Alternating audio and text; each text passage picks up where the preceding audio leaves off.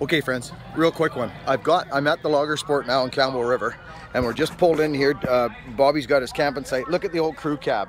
It's the same as my truck, but it's a crew cab. It's a 67 Merc and it's just a beauty. And we just met some people from Switzerland and said hi to them. So there's Bobby's truck. That's a 67.